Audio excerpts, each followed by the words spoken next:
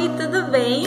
A receita de hoje é uma torta de maracujá que, gente, que torta é essa? Ficou maravilhosa e eu quero muito que vocês também experimentem. Então continue assistindo o vídeo para você também aprender.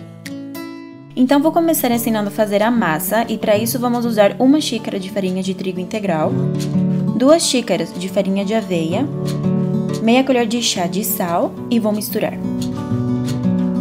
Depois vou acrescentar um terço de xícara de azeite e meia xícara de água morna. Vou misturar tudo muito bem e vou amassar.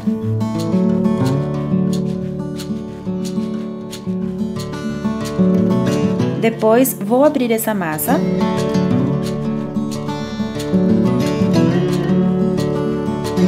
E vou colocar numa forma de vidro.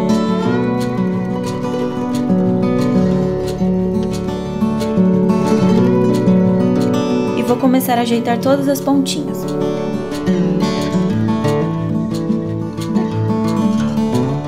E depois é só levar para o forno até dourar. Agora vamos para o recheio e para isso vou usar a polpa de 4 maracujás e vou bater em meia xícara de água. Depois vou coar e vou reservar o suco. Depois vou bater no liquidificador um quarto de xícara de castanha de caju em meia xícara do suco do maracujá que já reservei. Vou adicionar uma xícara de leite de coco fresco e o restante do suco do maracujá. Vou acrescentar meia xícara de amido de milho, 6 colheres de sopa de açúcar e um pouquinho de sal. Depois vou colocar o líquido na panela e vou ficar mexendo sempre, sempre, sempre até ele engrossar.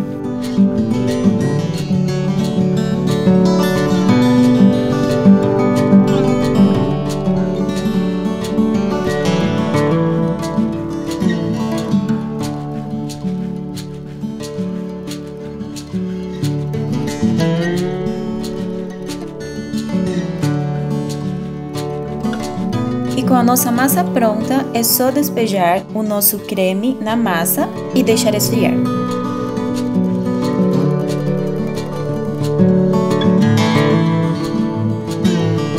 Você pode decorar como você quiser, com frutas ou com geleias, como você mais gostar.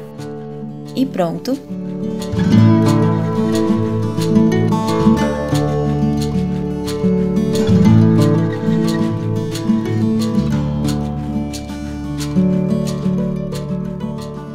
Apaixonei por essa receita, eu sei que vocês também vão gostar, então façam. Se fizerem, não esqueçam de deixar seu comentário, que vou adorar saber o que vocês acharam, tá bom? Mando um abraço pra você e a gente se vê no próximo vídeo. Tchau!